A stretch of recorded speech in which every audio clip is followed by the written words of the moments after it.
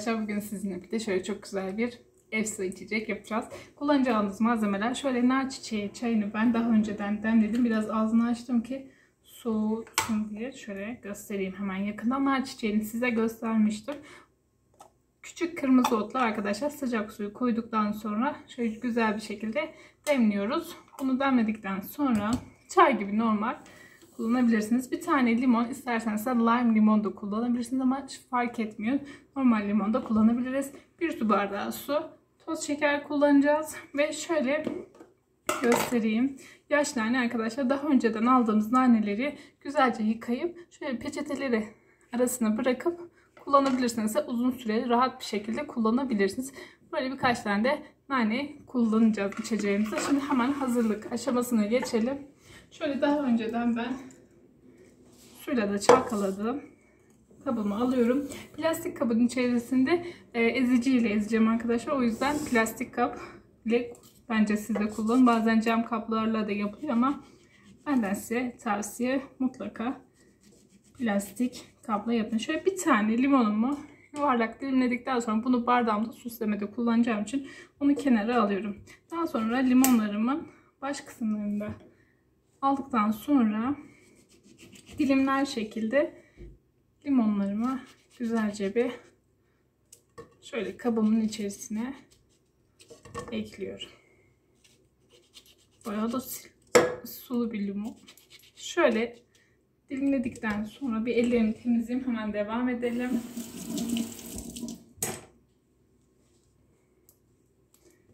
Daha sonra toz şekerimi ekliyorum. Ben biraz tatlı sevdiğim için o yüzden 2 tatlı kaşığı toz şekerimi de ekledim. 1 su bardağı suyumun biraz kısmını önceden kullanacağım. Şöyle çok az. Birazını ekledikten sonra nanelerimin arkadaşlar belli bir ölçüsü yok. İstediğiniz kadar yapabilirsiniz. Şöyle bir tutamını ben ekliyorum. Daha sonra hemen makinemi alayım. Şurada ocağın kenarına bırakayım.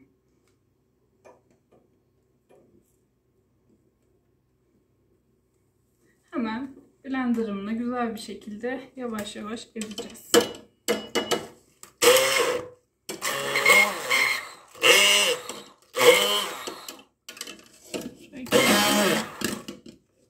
Yavaş olacak şekilde.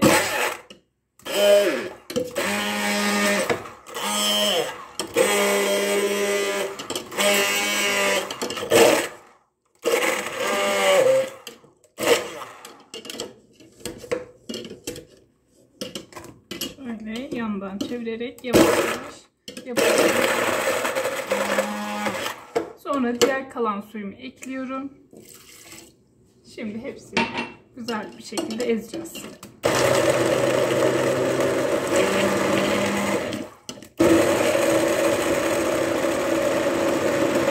Ta ki hepsi paramparça olana kadar bu işlemi yapacağız.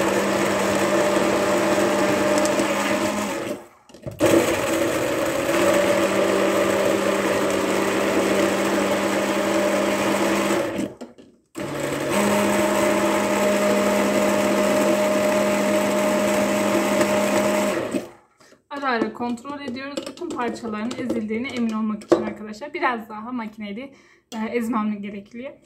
Hemen şöyle alayım.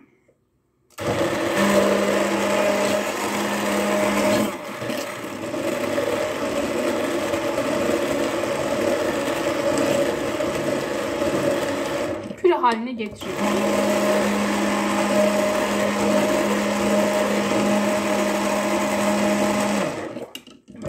Şöyle göstereyim yakından da. Şöyle yaptığınızda bütün parçaların ezildiğine emin olduğunuz zaman makinenizi hemen çıkartabilirsiniz.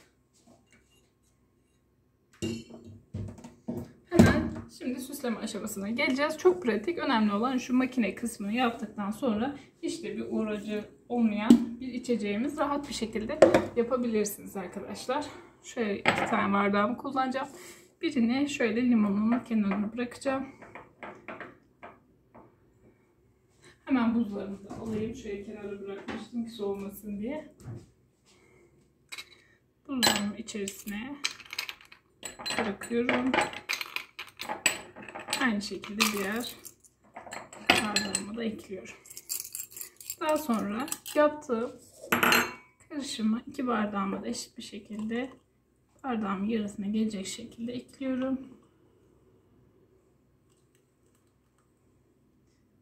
Boy bardaklar için ben iki eşit şekilde yaptım bunu. Daha sonra nane yapraklarımla bardağımın yan kısımlarını süsleme için şöyle kenarlarını bırakacağım. En son olarak da nar çayımı ekleyeceğim. Hemen aynı şekilde diğer bardağıma da süslemesini yapıyorum. Farklı içecekleri seven arkadaşım varsa biraz da süsleme olsun. Farklı sunumları seviyorsanız da mutlaka bir deneyin derim. Şöyle çayımın süzgeç kısmını aldıktan sonra yavaş yavaş içeceğimin içerisine ekliyorum. Yeşil ile kırmızının uyumu bayağı güzel. Ben çok seviyorum bunu. Aynı şekilde diğer bardağıma da ekliyorum.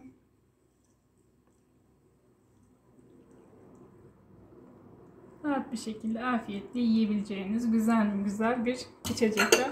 Mutlaka deneyin derim. En son olarak da üst kısmını da şöyle nane yapraklarından ekleyip bırakıyorum. Siz de isterseniz arkadaşlar şöyle çok güzel içecekler hazırlayabilirsiniz. Farklı içecekleri seven arkadaşım varsa soğuk tüketen mutlaka bir denesin derim. Videomu izlediğiniz için teşekkür ederim arkadaşlar. Videomu beğenmeyi, kanalıma abone olmayı unutmayınız.